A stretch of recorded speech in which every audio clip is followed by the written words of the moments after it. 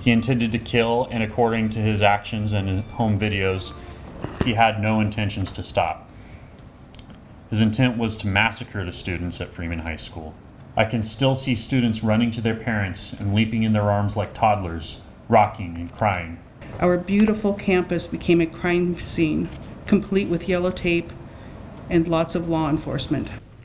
Powerful messages and stories from those impacted by the Freeman High School shooting. It has been more than four years since the Freeman community was changed forever. Today, the victims and survivors shared their stories in court for the very first time. Good afternoon, everyone. Thank you for joining us here for 2 News First at 4. I'm Whitney Ward. Welcome, everyone. I'm Mark Hanrahan. Tom is off this week. We have team coverage this evening to share the stories told in court today. So we begin right now with Kyle Simchuk, who was in court today. And Kyle, what can you tell us just about this first day of those victim impact statements? Well, yeah, Mark and Whitney, like you said, this is the first time since the shooting these victims have been able to speak directly to Caleb Sharp and the judge sentencing him. The terror they experienced back then and still to this day. Prosecutors say roughly 150 victims plan to speak in court or have asked for their testimony to be read. Today, we heard from students, teachers, grandparents, and school counselors who say they're still haunted by the shooting and suffer from PTSD and anxiety. Teachers and students talked about hiding in dark classrooms, not knowing if they would make it out alive. Their statements were read in court by victim advocates. There were very few discussions over the shooting except how dark, quiet, and still the school became momentarily. These students feared for their lives, hiding, hoping Caleb Sharp would not find them. It is the most surreal and haunting feeling in the world to know that death is down the hall and coming. I was convinced that we were going to die. Okay, Mr. Pace, thank and you. later on in the afternoon, we heard testimony from the school's janitor. He actually disarmed Sharp and pinned him to the ground before deputies arrived. We'll bring you his dramatic story tonight at 5. So again, about 150 people uh, signed up to either speak or have their testimony heard. So it's going to take uh, likely about two weeks before uh, Sharp is even sentenced. They want to have all those victims give them a chance to speak. Kyle, I'm curious about Sharp specifically. He was in court today. What was his reaction as these victim Yeah. impact statements were being read? It's kind of hard to tell what he was thinking, what's going on in his mind. We just saw him. He was basically just staring at the table um, in front of him. A few people did jump on Zoom to give their testimony.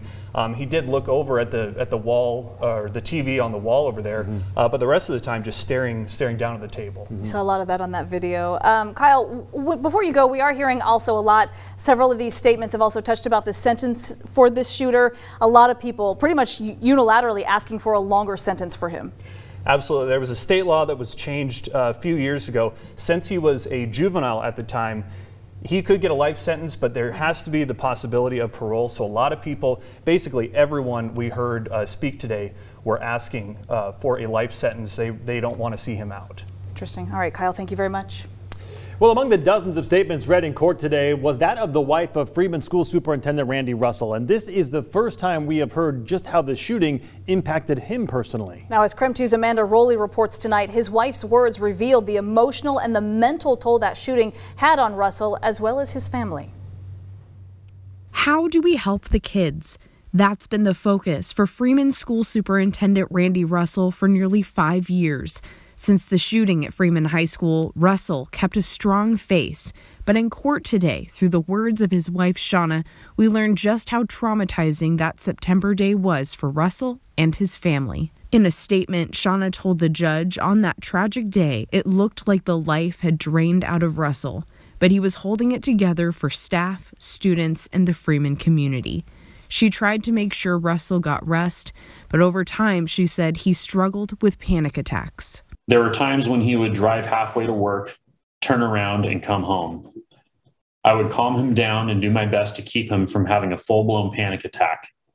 This became a norm for a while. One day, his panic attack was so bad, I had to take him to urgent care because he thought he was having a heart attack. There was nothing I could do to get him to calm down. Seeing him breaking down has been one of the hardest things for me through all of this.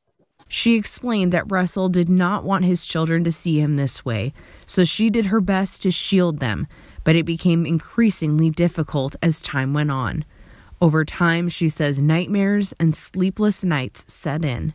Shauna told the judge she hopes her family and the Freeman community can find closure when the shooter is finally sentenced. Amanda Rowley, KREM 2 News. Well, we will check in with Amanda at 4:30 tonight. She'll join us over Zoom to tell us more about how the day unfolded in court today.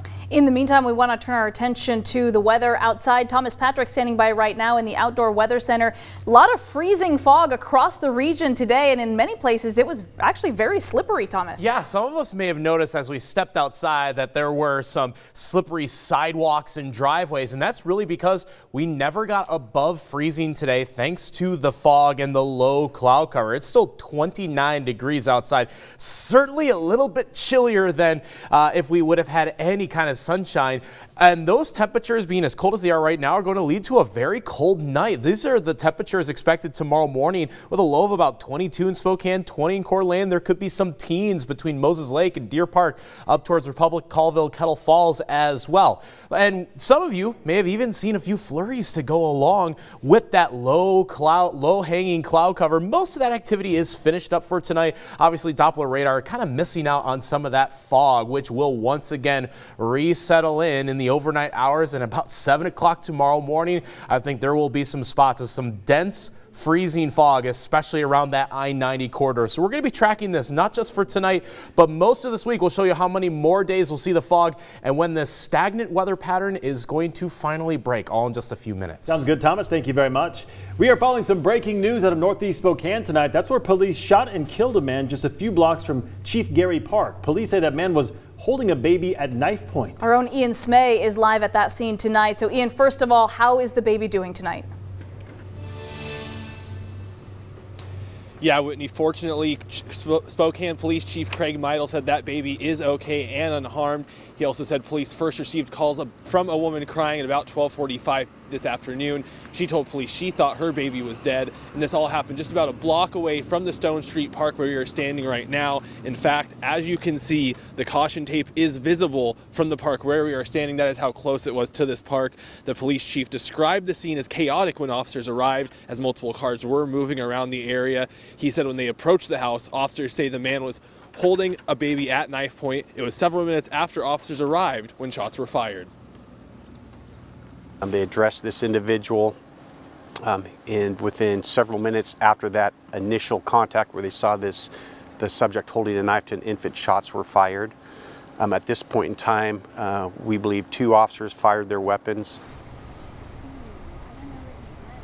That man was taken to the hospital and has died from his injuries. We're told the baby was not injured, and at this point, it's still unclear how the man was related to the woman and the child. But Meidl did say police have received information that this could possibly be a domestic violence situation. At this time, there are still multiple roads closed off in the area, including DeSmet at Stone, going over to the crime scene. So try to avoid this area on your commute home if you can.